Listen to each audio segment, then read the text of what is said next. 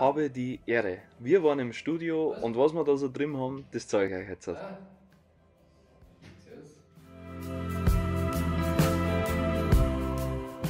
Wir sind mit einigen Demo-Songs ins Beatbird Studio gefahren.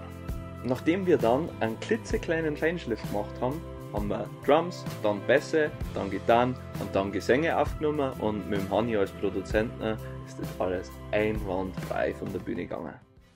Servus. Servus. Hallo. Was soll ich schwimmen gleich, oder nicht?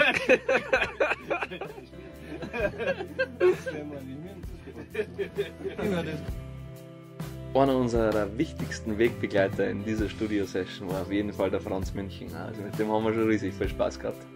Und es schaut jetzt vielleicht so aus in dem Reel, weil wenn wir nicht riesig viel da hätten, bloß wenn wir was da haben, dann habe ich meistens nicht mitgefilmt, weil ich ja was zum da gehabt habe.